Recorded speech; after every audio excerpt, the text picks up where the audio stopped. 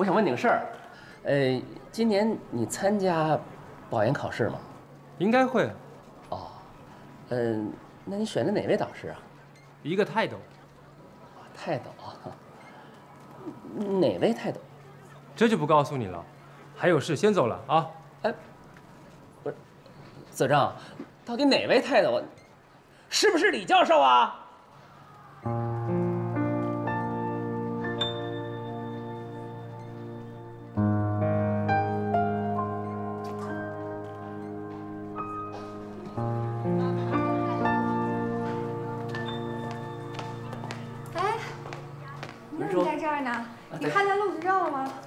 对，子正刚刚过去了。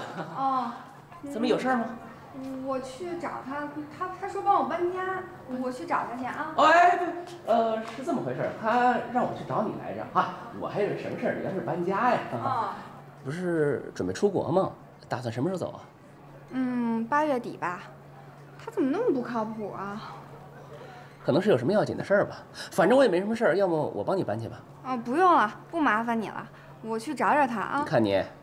文叔，你跟我客气是不是？走吧。那谢谢。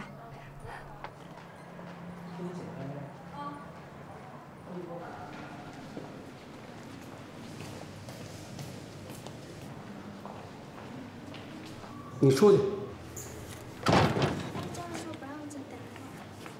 抱歉，借过一下，谢谢。李教授，哟，子正，来来来。随便坐，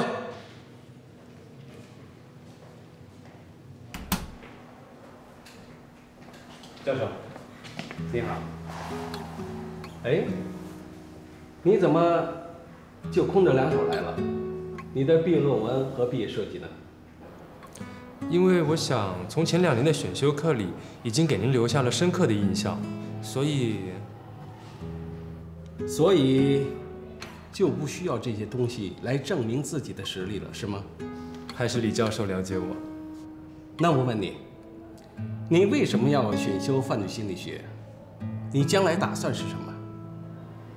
因为我爸爸和爷爷都是警察，他们经常告诉我破案的故事。小时候我就奇怪，为什么总有案子破不完，人抓不完。长大后我就特别想了解那些作案人的心理。他们为什么要犯罪？从源头上找到解决、制止和减少犯罪的方法。拜李教授为导师一直是我的梦想。如果能够实现，我想在犯罪心理学上进行深入的研究，并想留校任教。那你今天来是想打探点什么消息啊？当然是保研的方法。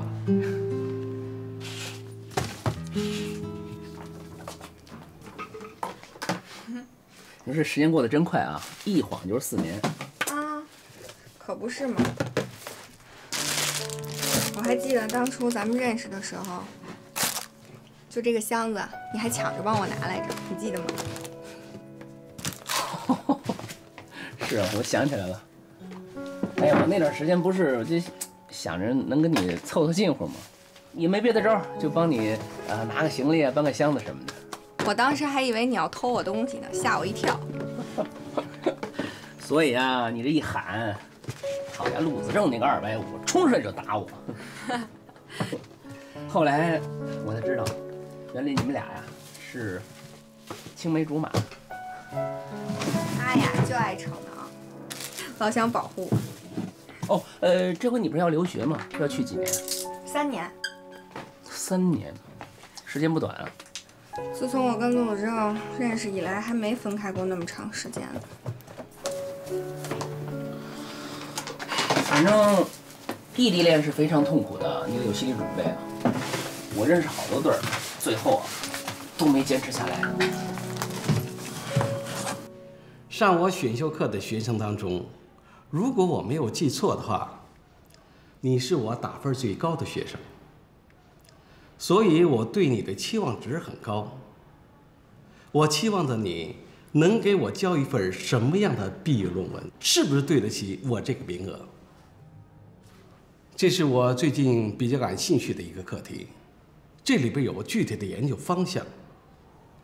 如果你的毕业论文还没有选题，你可以拿去看看，参考一下的。比起保研考试，我觉得毕业论文更能体现一个学生的真实实力。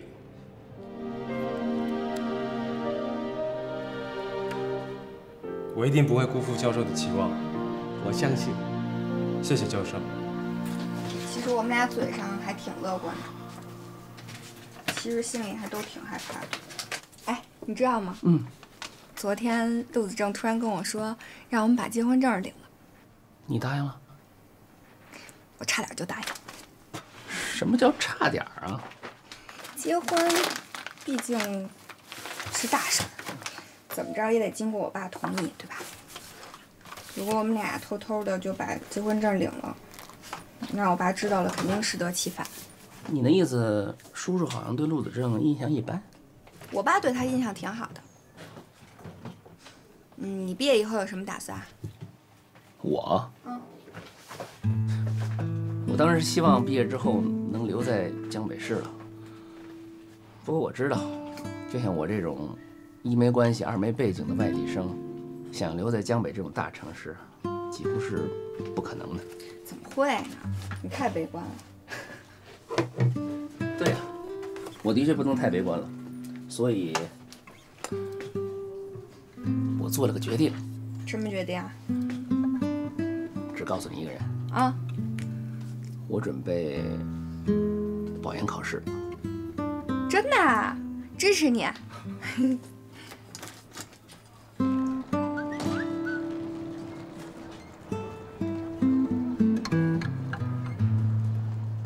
徐天意，哎，陆子正说晚上请你喝咖啡。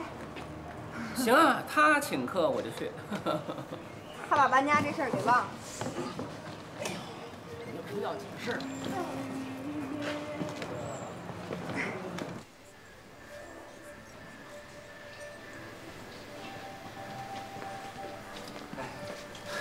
你可来了，别问了。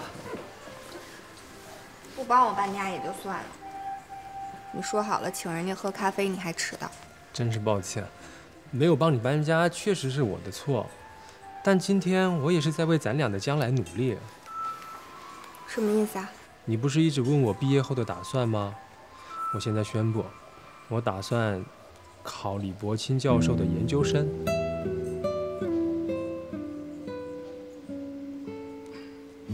考虑一下，我一个本科生，毕业之后很难在短时间内取得什么成绩来让你爸爸认可我。而且我也觉得自己更适合学术研究和留校任教。李教授的名声不用我多说了，他是犯罪心理学的泰斗，在这个学术领域里，他可是首屈一指的。能当他的学生，怎么了？啊，我听说李教授的研究生特别难考的，而且他对论文的要求极高。今年好像只有一个报考名额。不正是因为难考？考上了才更能向他爸证明我的能力吗？我说我爸是为了让你更努力。嗯，你等我回来就行了。你是怕我考研失利？不是，我不是那个意思。其实今天下午我是去找李教授，我已经向他表明了我想保研的意愿，他也很认同，还给我开了小灶。他暗示我保研的关键是毕业论文，他还给了我选题的参考方向。怎么了？他也要考李教授的研究生。我我就是凑个热闹。哎，那李教授给你什么题呀？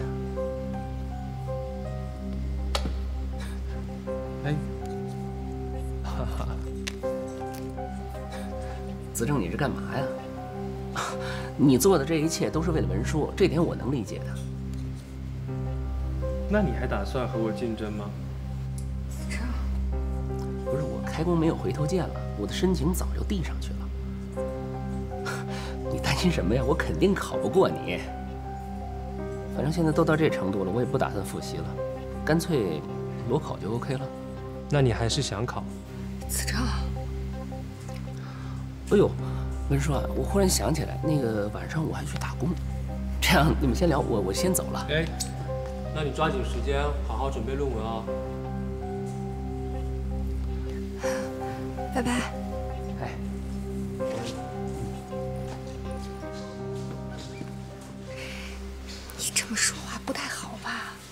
没事的，兄弟间两肋插刀，放心，没事。对了，离提交论文的时间没剩多少了。本来我已经选好了论文题目，现在得从头来过了。你能帮我搜集一些资料吗？你曾经在法律援助中心实习过，应该有很多可以参考的案例。行，那你需要我准备什么？你看看，不要给徐清义看。知道了。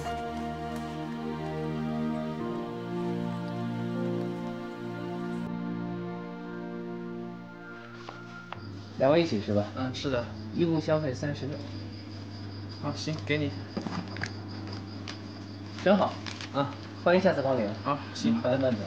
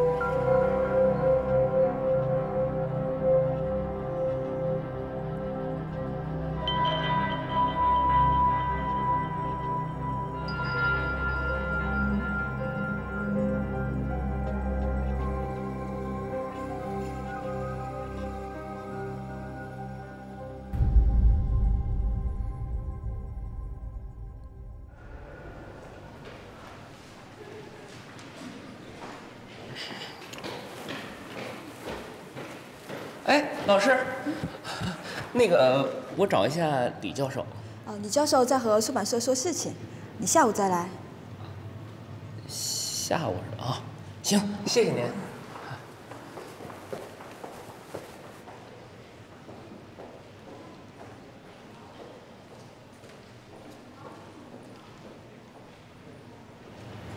李教授，您的论文还有多久才能完成？我们出版社等着帮您发表呢。哦，我已经完成了，但是我想再等等看。为什么呢，李教授？您也知道，今年是我最后一次当研究生，在我的心目当中已经有了人选，我对这个学生很期待，所以啊，把我的论文研究方向给了他，让他作为毕业论文的选题。我期待着他能跟我有不一样的见解。我想看到他的毕业论文之后，我再发表我的论文。好吧。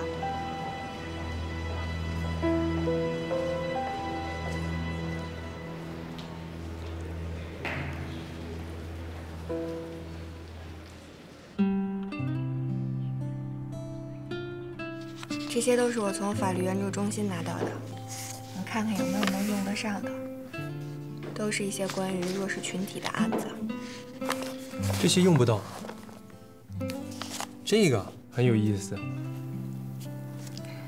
徐清义跟我说，你们俩好长时间不联系了。大家都在忙着准备论文，没有联系是很正常的。我知道你是为了我，但是我也不想让你们俩关系搞得那么僵，毕竟都是四年的同学。我们的关系没有僵啊，这只是一些正常的竞争，没什么的。现在我也管不了这么多了，最重要的是先成功保研，趁你出国前，我们把结婚证给领了。你怎么那么幼稚啊？你放心吧，我会回来的，不会不要你的。你能够帮我约一些这个案子里的当事人吗？律师或者是调查刑警。嗯，那就先这样了，我晚一点再来找你。你干嘛去啊？还有些事。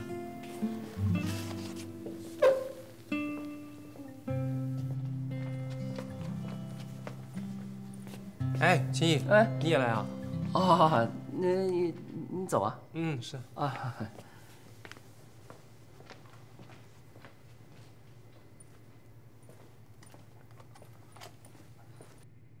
来查资料啊？对，五个自习嘛。总算是把论文的题目给定下来了。嗯。不过手头缺乏一些经典的案例和一些素材，所以过来看看。哦。这么多都是你帮他准备的？嗯嗯，不过他好像没什么用，我再帮他找一些类似题目的论文吧。呃，那要是不用的话，介不介意让我看看？哦，当然。谢谢啊。嗯，不好意思啊，嗯，都是因为我他才参加保研的。其实我谁都怪不上，非要怪的话，就怪李教授只有一个名额吧。哎，这些个资料你不着急还我去吧？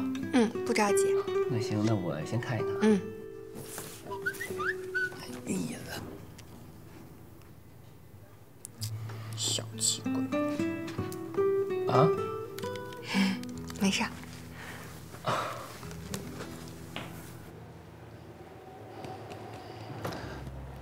哎，李教授，有事儿吗？啊，我徐庆义，啊，我也报考了您的研究生，这是我的论文，我想给您看一下。关于论文的事情，咱改个时间再说。现在呢，我要去教务处，那边还有点事儿，好吧？哦，嗯，就这样啊。行，明天啊，啊，哎，那您慢走啊，教授。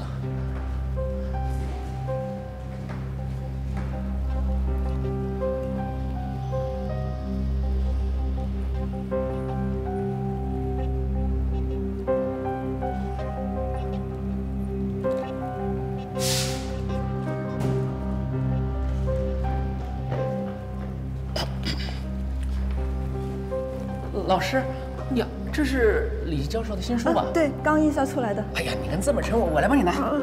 哎，没事，我我我帮你送进去给李教授。那那谢谢你了。您忙您的吧。那我先去。哎，没事。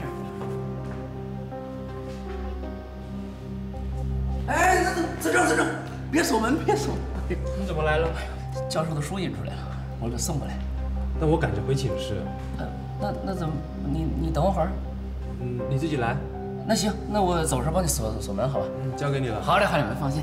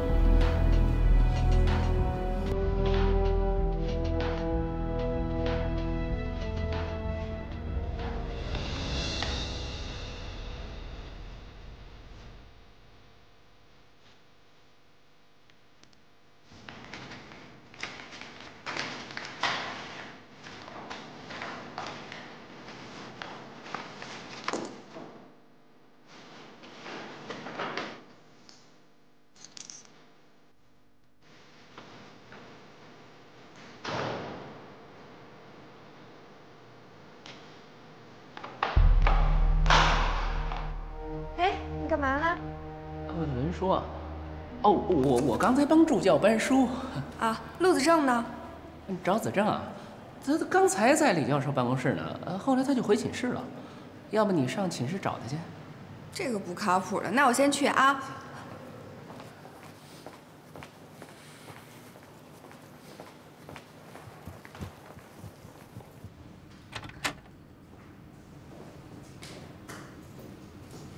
小孙呐，你把这个给我送到报社去，嗯，给小王，嗯，但是一定要小王听我的电话，哦，好的，再发表，嗯，嗯，哎，我不在的时候，有谁来过我的办公室？嗯，应该没有吧？只有陆子正在这里看论文。啊，怎么了？哦，你先去忙吧。啊，我检查一份再说。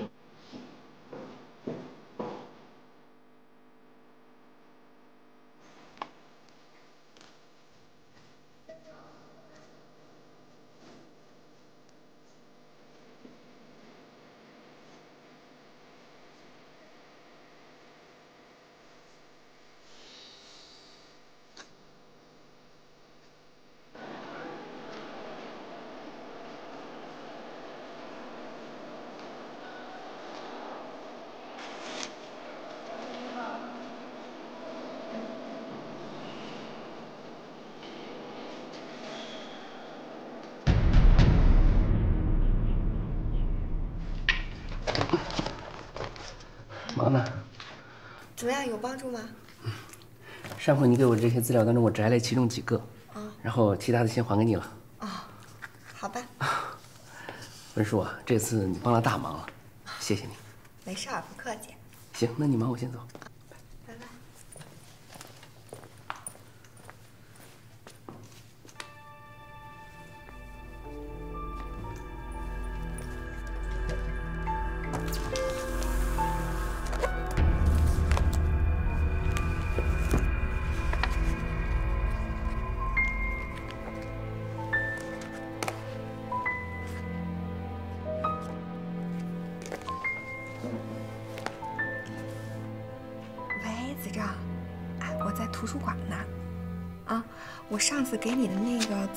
边有一份你好像落了，我觉得还挺有帮助的。题目是《当代社会弱势群体暴力犯罪的心理学研究》。文叔，就是这个。这份资料你从哪里拿来的？就在上次的那些资料里啊、你都没认真看，漏掉了吧？这对我太有用了。是不是？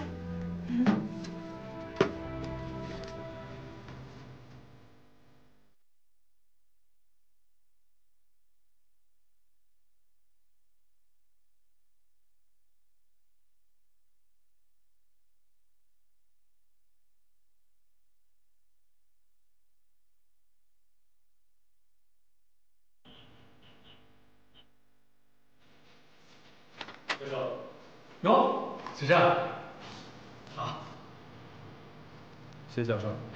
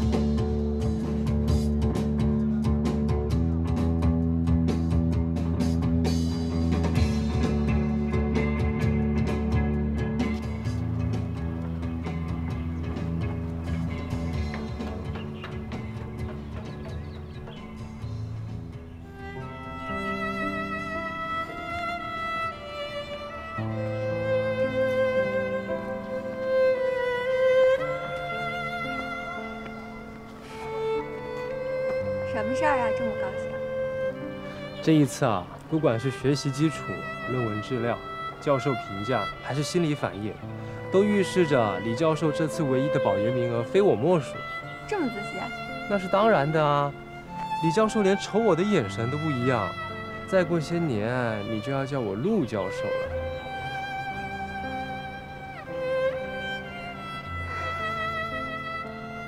有心事？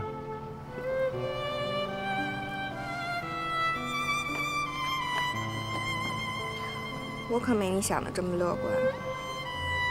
出国这三年，学习上有压力，生活还那么艰苦，而且我还还啥呀？还吞吞吐吐的，你爽快点行不？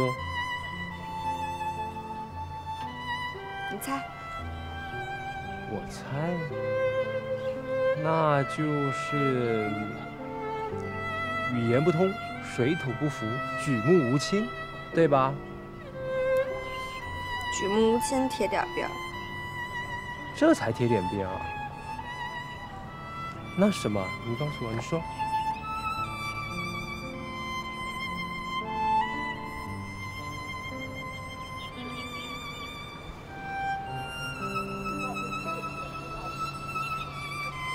我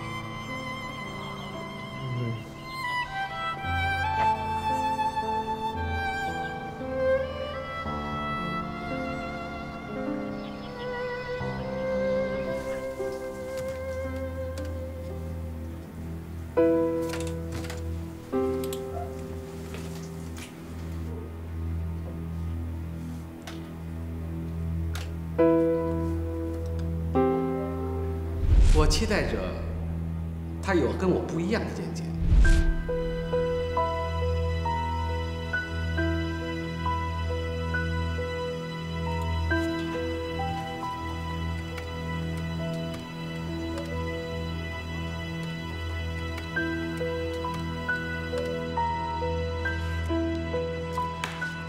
这个观点很新颖，我看好以后啊，我再约你。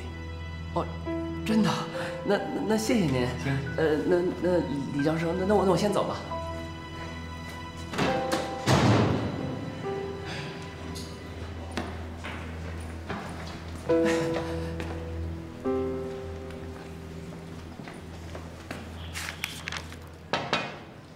请进。教授，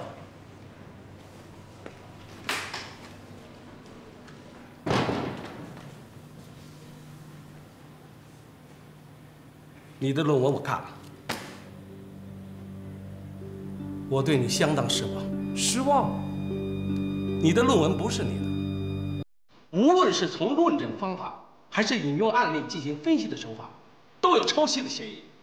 看了前几章以后，我以为只是巧合，但是我全面看完之后，我得出两个结论：要么你路子正，是我肚子里的蛔虫，我怎么想的你全知道；要么就是你偷袭了我未发表的文章。我确实参考了一篇从其他地方找来的论文，可我不知道那就是你的论文啊。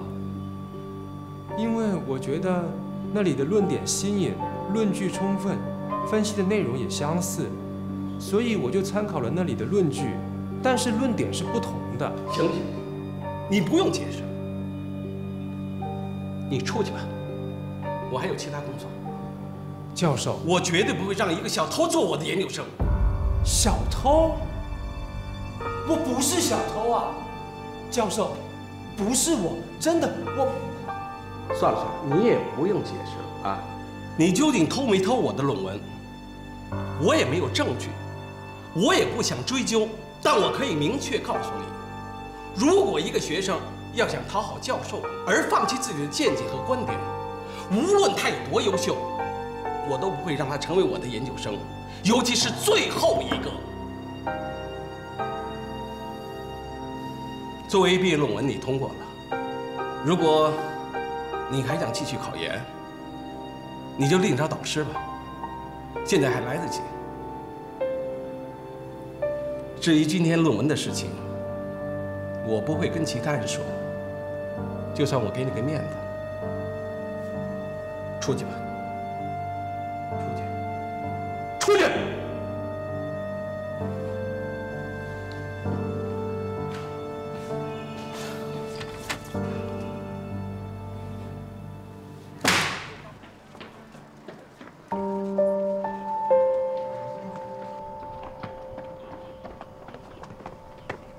篇论文你到底是从哪里拿来的？我我也忘了。应该是从法律救助小组办公室找到的吧？怎么啦？你少骗我了，是不是你从李教授那偷来的？这是他未发表的论文。我偷？这是李教授的论文，我不知道啊。你明明知道，却故意不告诉我，就是想让李教授觉得我是抄袭是吗？我干嘛故意要害你啊？我比任何人都希望你被保研啊。那为什么最后保研成功的人是徐新义？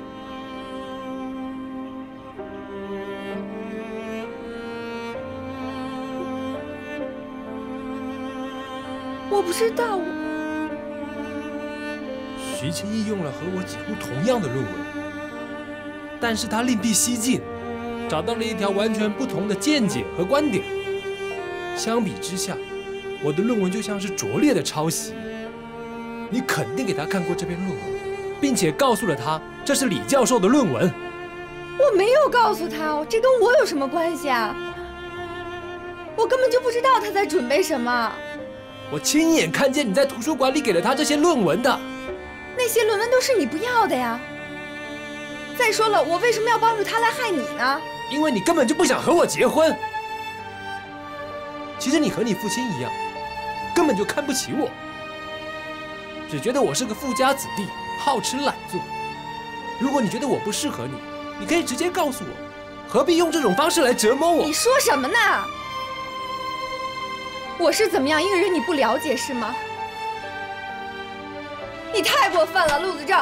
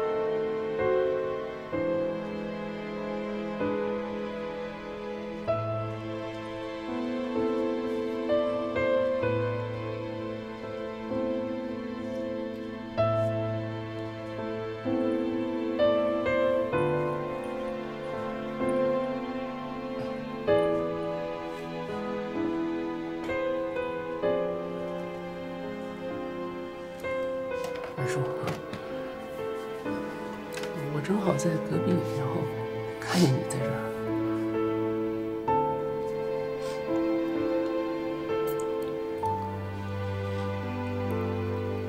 我知道你们吵架了，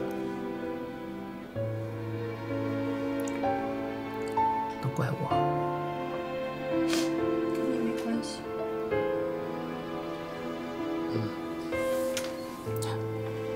其实这件事情哈、也子正，因为他一直都是那个脾气。这次保研失败，对他的打击特别的大，所以，所以才闹成这个样子。他肯定是太怕你会对他失望，所以才他这样我更失望。失败并不要紧，对吧？谁都不可能有一帆风顺的时候。可是遇到问题得解决啊，还不能把问题推卸到别人身上。文叔，只要你开口，我可以去找李教授谈，我让他把名额让给子正，没关系。李教授不可能再接受他了。李教授认为是陆子正偷了他的论文，这里面肯定有什么陆子正就是这样，遇到问题不解决，就爱闹情绪。这几天我我去见李教授的时候，就不能提他的名字，教授只要一听到陆子正这三个字，就又摇头啊，又叹气的。你说的对，他们一定有什么误会。不如这样吧，呃，我哪天约约教授，跟他好好的解释解释，好吧？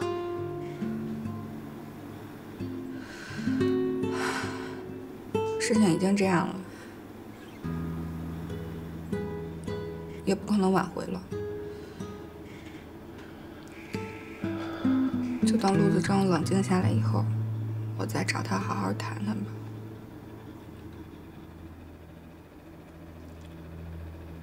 文叔，我真希望能帮你做点什么，可是我做不了。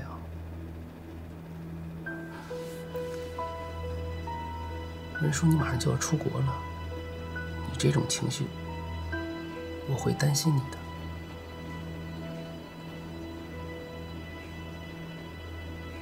嗯，什么意思？我的意思是，无论你是不是在国外，或者在其他什么地方，我都可以为你做一切事。真的。你你去哪儿？我说我我得接个电话，你稍微等我一下，好吧？你先别走，你等我一下啊。喂，李教授啊，啊是我是我，哎，对我啊那方便方便，有时间啊，您说。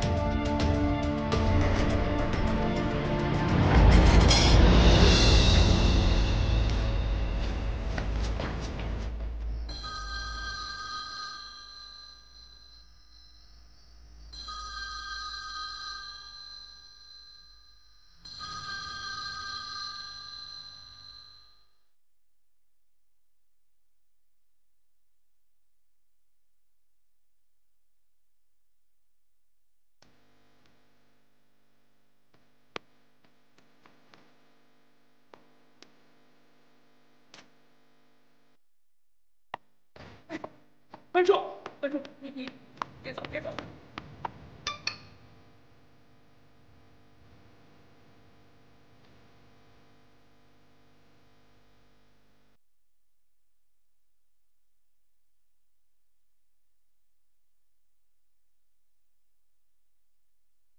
哎，你你听我说，你听。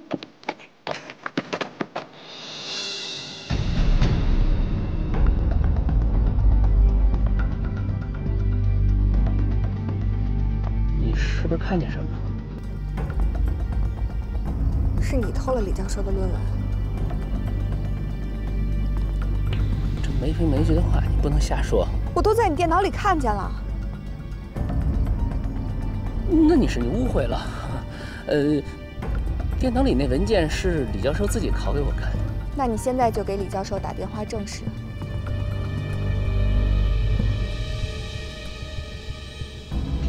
天亲眼看见你从李教授的办公室里走出来，手里还拿着一个 U 盘。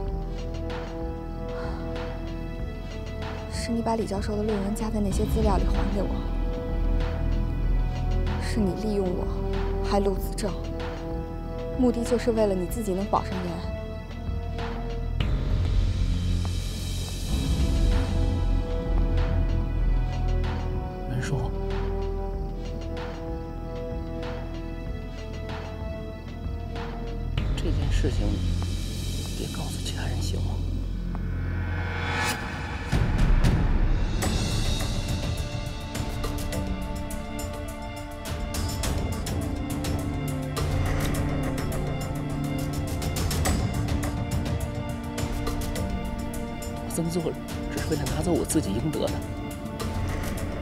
子正那条咸鱼已经已经翻不了身了，他没希望了。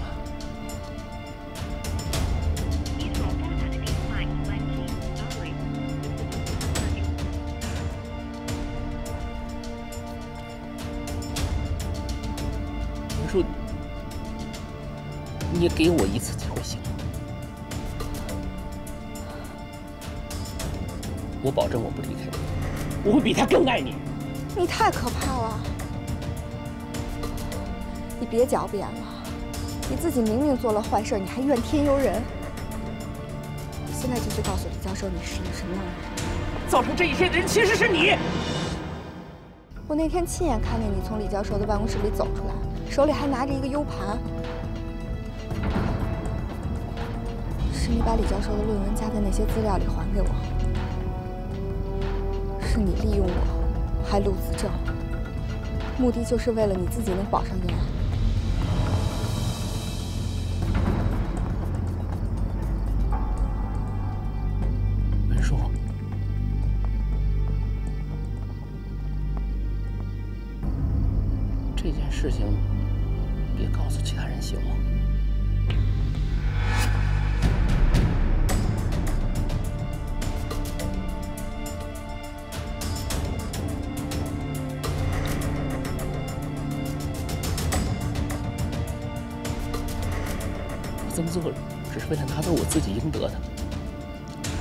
陆子峥那条咸鱼已经已经翻不了身了，他没希望了。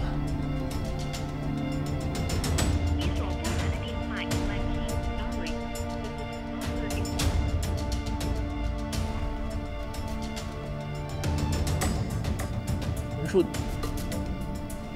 你给我一次机会行吗？我保证我不离开你，我会比他更爱你。你太可怕了！你别狡辩了，你自己明明做了坏事，你还怨天尤人。我现在就去告诉李教授，你是一个什么样的人。造成这一切的人其实是你。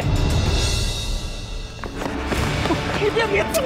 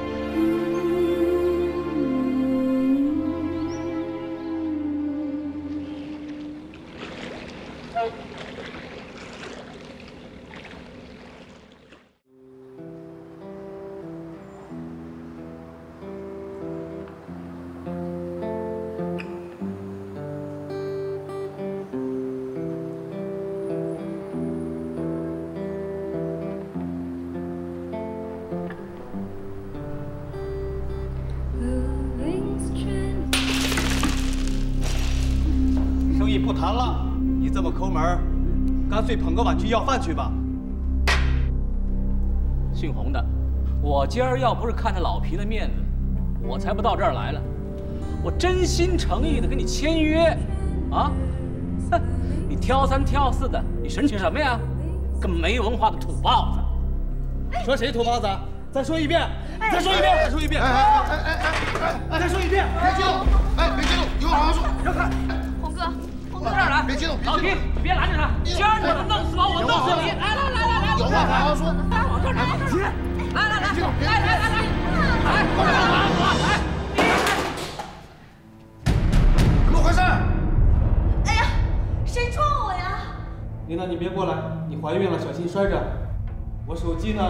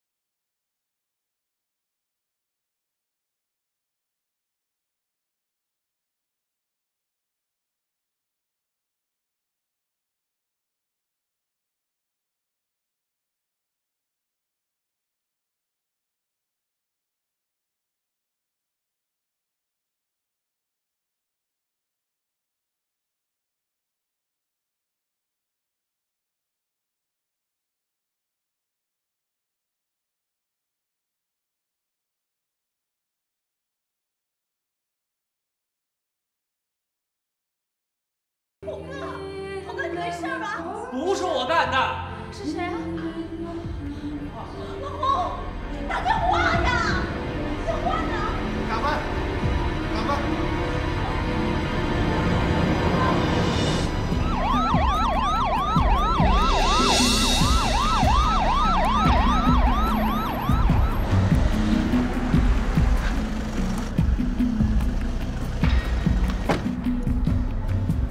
这里只有一个出口，死的是我们老板，大概十点一刻，当时这里没有人出入。好，差不多吧。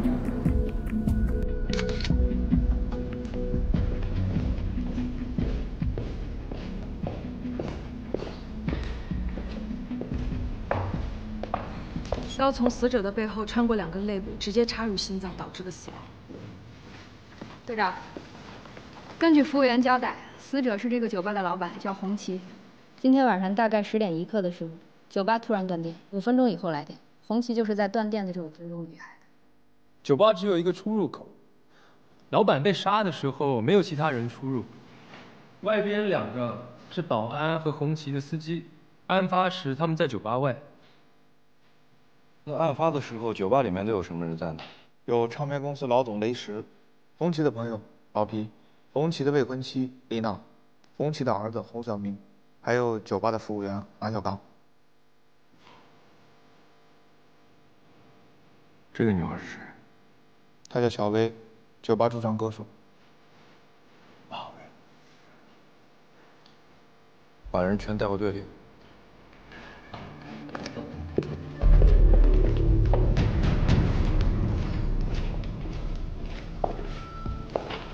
当时洪老板和唱片公司的雷总在谈小薇的合约问题，不希望闲杂人等太多，就提前关门送客了。嗯，当时除了调酒师马小刚以外，所有的人都提前下班了。当时我和司机一起在外边抽烟聊天，突然就听到一声尖叫，我就冲进去了。我们进去之后啊，就发现老板已经死了。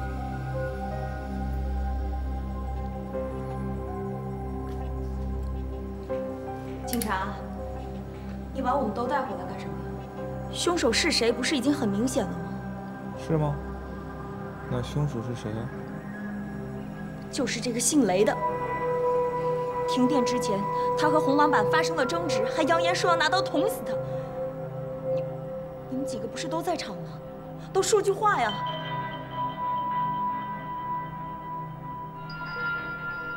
我一直在不远处看他们吵架。停电前发生了什么事，我我不知道。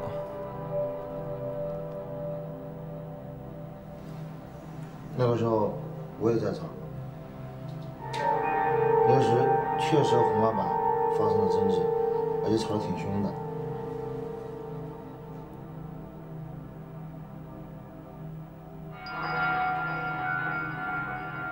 说什么呢？啊？你们说什么呢？想赖在我身上啊？真以为我喝多了？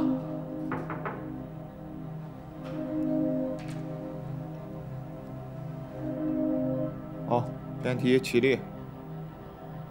起立！一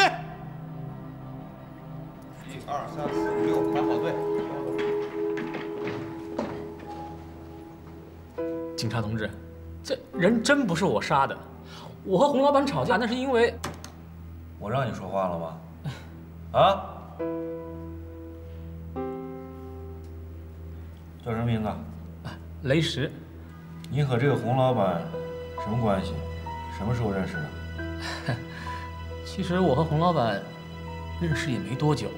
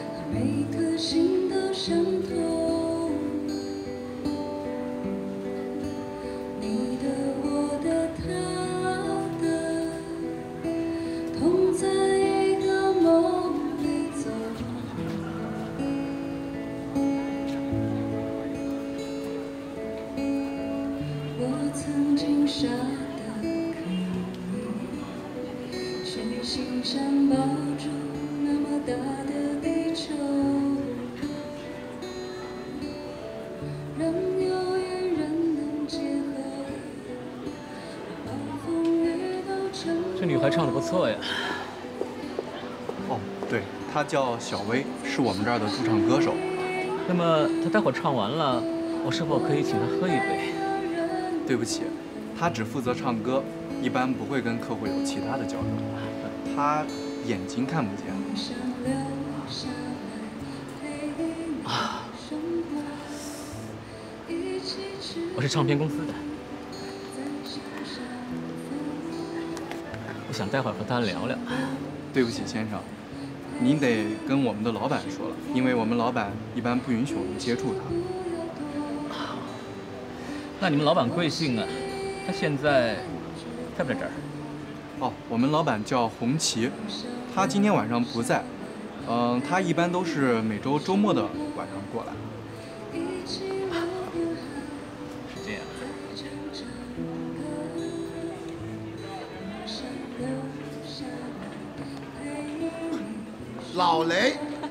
鬼，老皮，坐。我还以为认错了人，没想到在这碰上你。晚上没事儿，出来喝一杯。就一个人？我晚上啊，喜欢呢，在各个酒吧看一看，看看有什么好苗子。你还在做那个什么音乐制作人？除了这个，别的我也不会啊。哎，这一下十多年都过去了，我还记得那个时候，你在学校，哎，玩那个什么乐队。是啊，这一晃十几年了。哎你像是这儿的常客呀。这唱歌的可以说是天籁之音。认不认识这儿的老板啊？给引荐一下。这老板洪哥，平时和我们就称兄道弟的。他不在的时候，这儿都由我来打理。太好了，你呀、抓紧时间给我引荐一下。这个没问题。好，来，我静候佳音啊，先干为敬。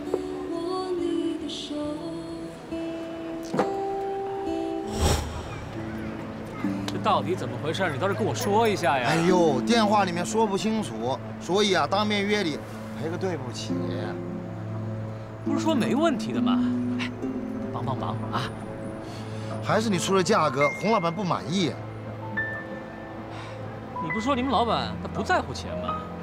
对呀、洪老板确实不在乎钱，但是你出的价格也表示你的诚意呀、之前好多人谈小薇的转约问题，都被洪老板一口回绝了，这不因为有我，他才所以愿意聊聊吗？好，你们洪老板觉得什么价格才算有诚意呢？开玩笑，成名歌手签约价也不过如此吧？这事儿啊，过两天再说吧。哎，这点钱就把给你吓住了，早知道我就不掺和这事儿，一点好处都没有，还搞得两边里外不是人。你别误会嘛，啊，这事儿啊，我也得股东商量一下，对不对？呃，两天以后吧，两天以后我给你一个有诚意的价格。先走了。好，那我等你好消息。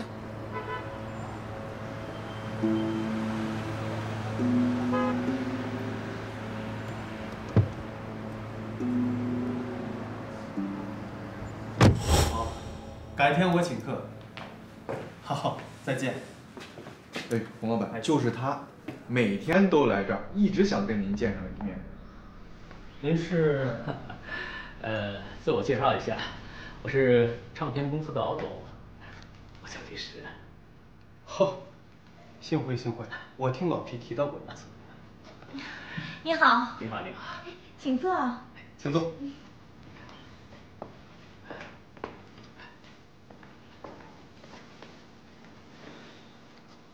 今天过来啊，主要还是想谈一下小薇的事。我还一直纳闷呢，上次老皮提了一次之后，就再也不谈这事儿了。我以为你不感兴趣，放弃。怎么会呢？我还等着老皮的反馈呢。哦，你希望我们之间怎么合作？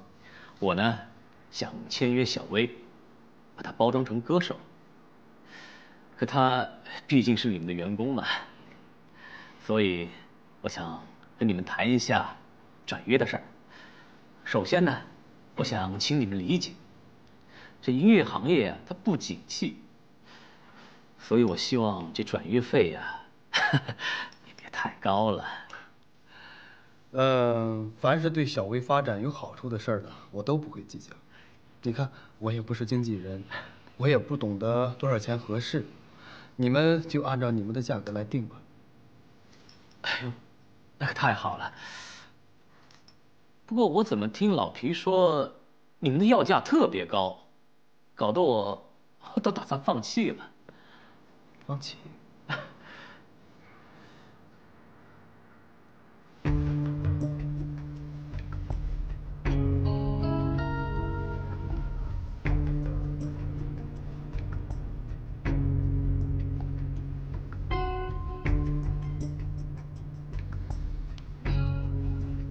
老皮从来就没有跟我说过具体的签约价格，他只是跟我说，你这边扭扭捏捏的，想要人又不肯花钱。我们呢，都被他给骗了。这家伙，哼 我看他做这事儿啊，还挺上心的。我跟他说好了，这事儿谈成了，我给他百分之十做中介费。我跟他说的是，如果这事儿成了，他欠我的钱就一笔勾销了。这家伙，背着我们两边抬价，他落好处。他这人总这样，狗改不了吃屎。雷总，既然话都说开了，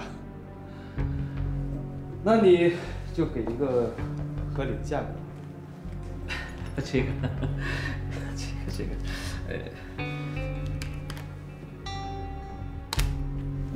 您看这个价格，您满意吗？行，这事儿就这么定了。哎呦，那可太好了！这样，我呀，今天回去就草拟合同，改天呢，您有空，咱们就把合同给签了。可以。不过老皮这小子突然摆我这一道吧，我这心里很不舒服。真不想便宜了他。可是，如果我不给他之前说好的费用吧，我这传出去也不好，这也没面子。洪哥，要不然这样吧，你们俩私下里还是可以把合约给签了呀。但是当着老皮的面儿，你们可以演一出戏啊，假装谈崩。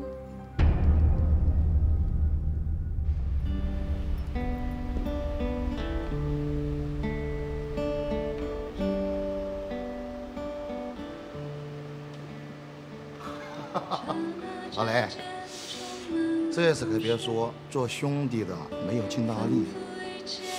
我也知道啊，你十分的想要得到小薇，所以啊，我缠着黄老板说了好几次。啊，老皮啊、我最了解你了。咱俩即使是亲兄弟，哼没有好处的事，你也不会做呀。你看你说的，哎，做兄弟的拿点辛苦费也是应该的吧？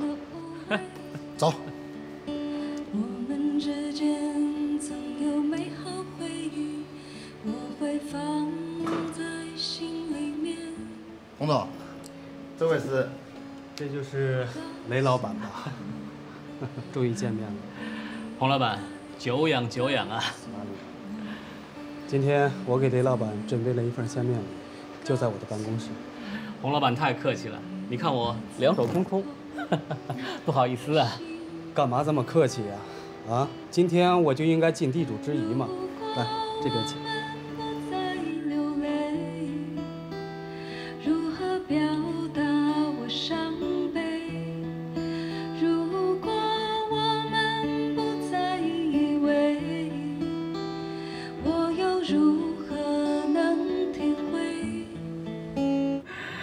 真是太感谢洪老板了，这合同签了，我心里也就踏实了。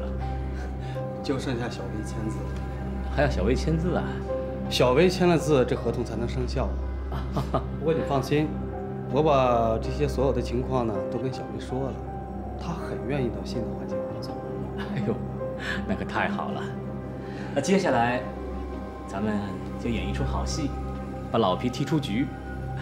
哦，对了，就待会儿啊，我说的话您可千万别往心里去啊。哎呀，我也正准备说同样的话。请。明明是小气，还摆谱，你说这公司能做大吗？洪老板，你这话我可就不爱听了。不爱听就别听啊！我今天来能见你就已经很给你面子了。谁知道你是真老板还是假老板？拿个名片糊弄你？老皮，你们俩不会是合伙起来忽悠我吧？洪老板，您看你这话说的，我们怎么会忽悠你呢？我忽悠你？你那天价的签约费不松口，老皮的中介费就跟着看涨。哼，老皮这个人我不了解，没有钱的事儿他干的不会那么起劲儿。所以呢，在场所有人都看到我和洪老板吵架，其实啊，那就是我们演出的一出戏，哼 演给老皮看的，让他知道这笔生意黄了，哼 我们就可以省下那笔中介费了。这个是你和红旗私下都商量好的吗？是啊。哦，对了，您瞧，我跟他呀，协议都签好了，我们打算呢，打发走老皮以后，再找小薇签字。没没想到事情闹成这个样子。哼您说，他如果真的跟我有矛盾的话，他不可能在这上面签字啊，对不对？我没有杀他的理由吧？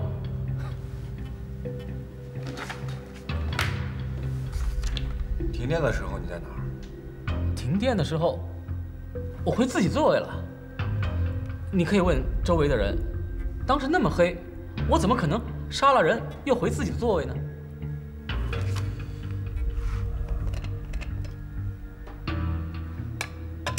停电的时候，你有没有发现什么异常啊？这个这个异常的情况，我倒怀疑杀人凶手是是老皮。为什么？因为他知道红旗的位子。我给您提供一个线索啊，这老皮呀、他有个外号，叫夜猫子。嘿这倒不是说他喜欢熬夜啊，他这家伙，这夜晚呢、那双眼睛啊看得特别清楚。我们年轻的时候，摸黑出去玩，都是他在前面领路。你说，停电那会儿啊，那么黑的环境下，也只有他知道红旗在哪。啊，来电以后啊，他离红旗的位置最近。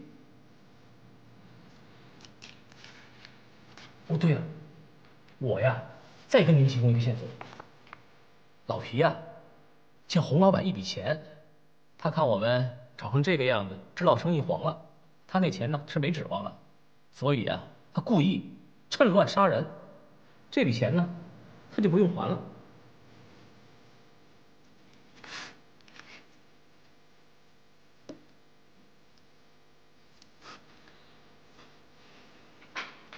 看一下，什么疑问吗？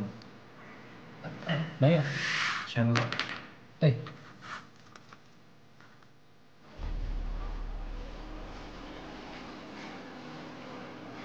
队长，这盒子上的笔记确实是红旗的。看来他没有撒谎。对雷石的眼睛做了检测，他确实有夜盲症，而且他的家人和员工都说他晚上从来不开车。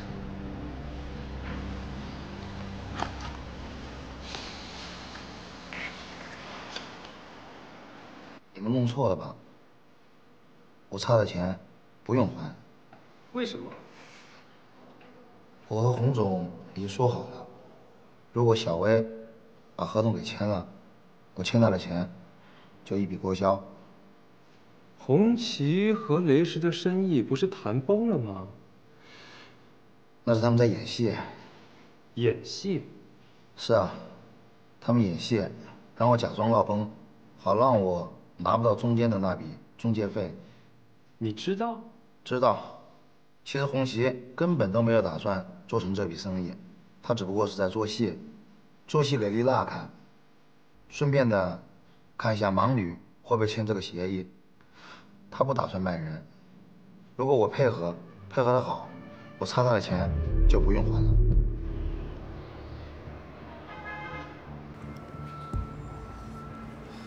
雷音唱片，大公司，老板你认识？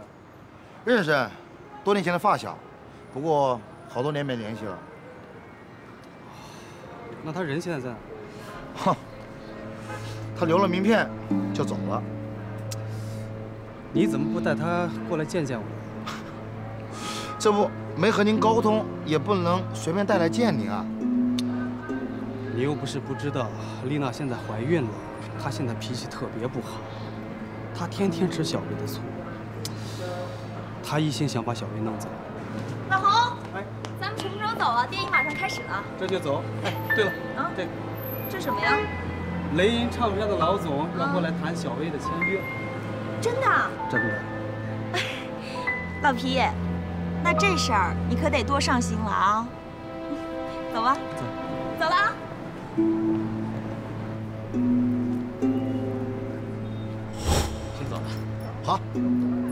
那我等你好消息。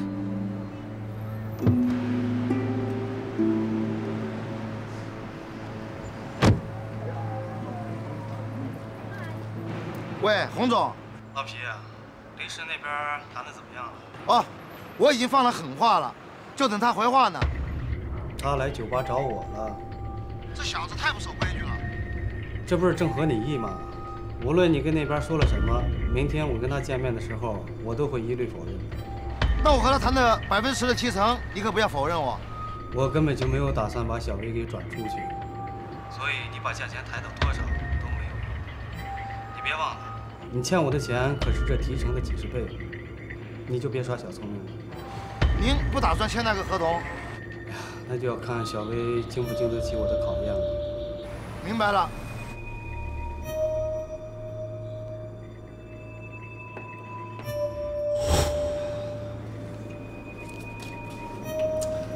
你的欠条，等下呢，好好表现啊。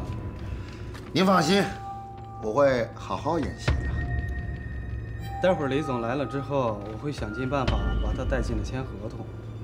随后呢，再听几首歌，差不多的时候，你就配合我把戏演了，知道吗？我明白，您放心。哎，对了，你怎么跟洪小明一起来的？没有啊，刚刚在门口遇见的。不过，我有听说他说什么关于遗嘱的事儿。知道了。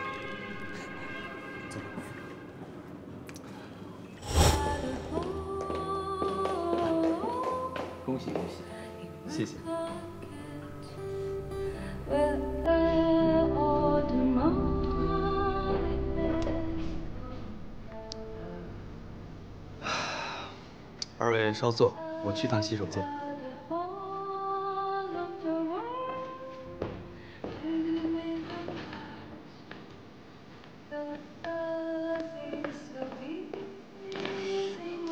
严老板，我也去趟洗手间。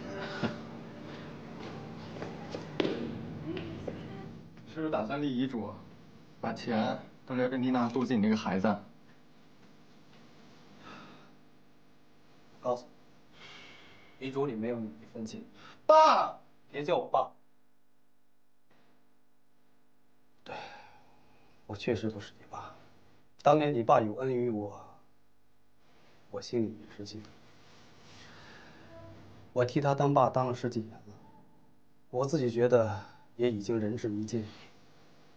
现在，我有我自己的新生活，我得替他的将来考虑考虑。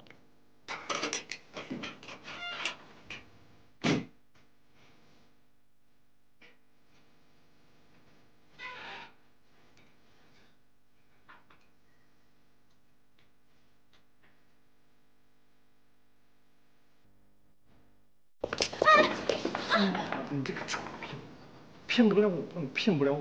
你看我怎么说！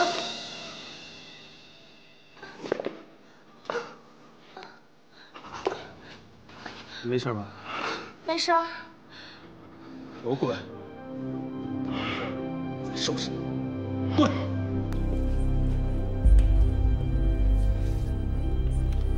冯老板，这酒喝的也差不多了，歌也听了好几首，咱们还是谈谈合同是吧。你着什么急呀？又不是跟你谈。哎，你是不是惦记你那点中介费啊？那点中介费才多少钱啊？今天专程约雷总过来谈合同的事儿，不能耽误人家时间。专程？我怎么看不出雷老板有半点着急的意思呀？洪老板，你这话什么意思？没什么意思。如果你够诚意的话，就应该早点过来找我。你何必让老皮在中间当传话筒？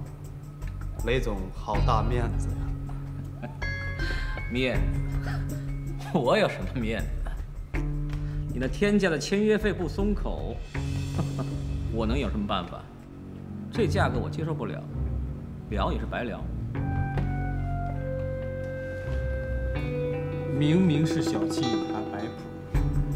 这公司能做大？王老板，你这话我可就不爱听了。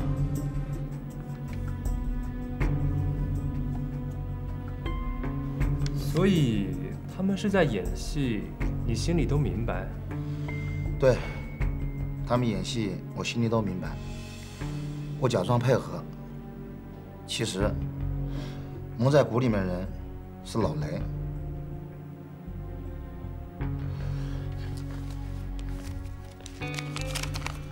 这个是老雷来酒吧以前洪总还给我的欠条。既然我不差他的钱我杀他有何意义呢？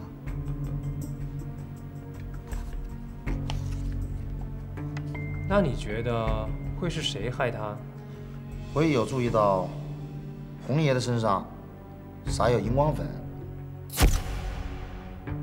在黑暗里面可以看得见，不仅仅我看得见，洪小明也能够看得见，所以他跑上去把灯给关了，然后在黑暗中杀死了红爷，目的是可以阻止他改变遗嘱。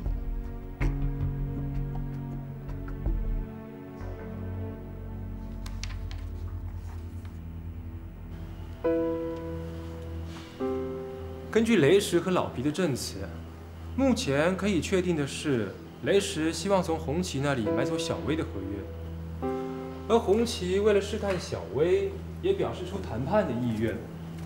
但是老皮为了多赚中介费，而瞒着两边哄抬价格。被发现后，红旗为了赢得雷石的信任，提议做戏，假装争执，让生意谈崩，这样就可以把老皮一脚踢开。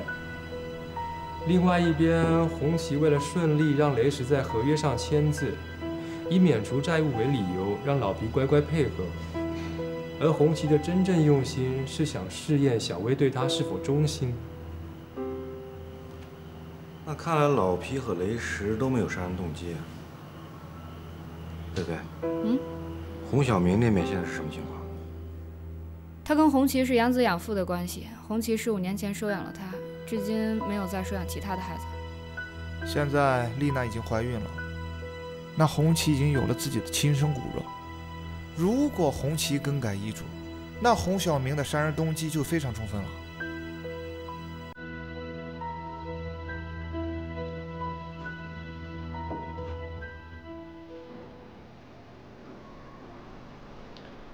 尸体上有什么发现？死因跟我在现场判断的是一样的，是用刀从死者的后背穿过心脏导致死亡。刀来自酒吧的厨房。我还在衣服上有发现，你们过来一下。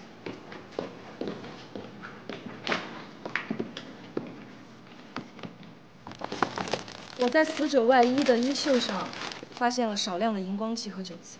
杜姐，帮我关一下灯。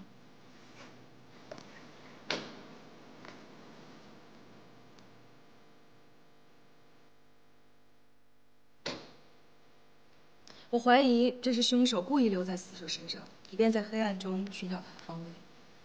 那就说明皮定天说的是真。如果是这样，那停电也在计划之中，不是意外。能确定停电的原因吗？酒吧周边的供电一切都很正常，所以可以排除区域性的断电。那么酒吧断电的理由有很多，也可能是电器短路、过载，或者是人为的拉闸。那洪小明的嫌疑是最大的，因为来电停电，他离电闸最近，他可以创造最有利的犯罪环境。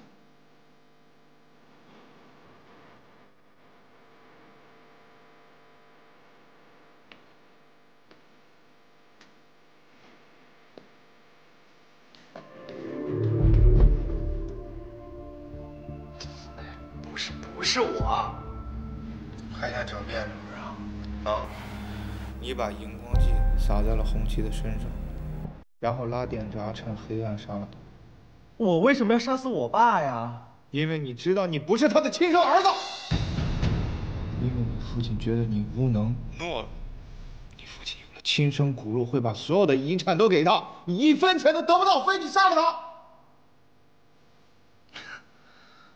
遗嘱主义的人根本就不是我，是丽娜。我是最近才知道，她就是为了钱才和我父亲在一起。哼，为了讨好我父亲，刚开始的时候对我特别殷勤。得知我是养子之后，就开始用各种手段排挤我。拿去花吧。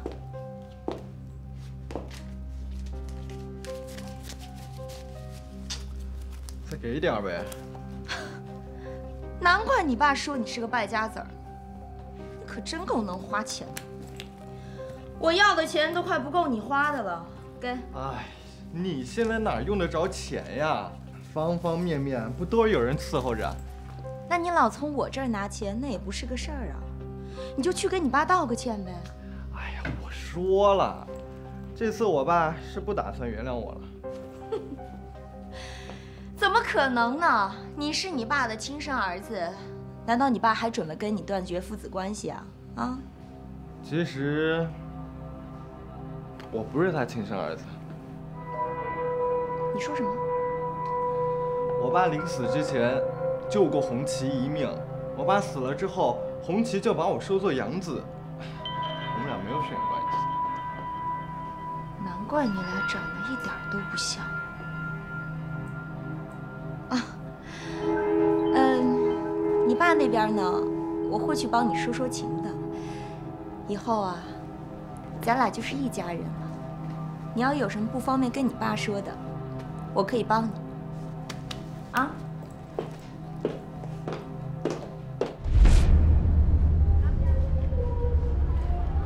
哎，小明，哎，皮叔，你怎么过来了？哦，对，我爸今晚是不是要把小薇给卖了呀？看你说的，那怎么叫卖呢？那叫转会。那小薇以后就不会在这唱歌了，是吧？这次啊，是你爸做给丽娜看的，是个局。你放心，小薇不会走。哎，什么局啊？哎，皮叔，你给我讲讲。你看，你爸这么多年，从来没有信任过哪个人。嗯。这不，拿签约的事儿，来试一下小薇忠诚不忠诚。哎，那你不知道我爸改遗嘱的事，不会也是想试试我吧？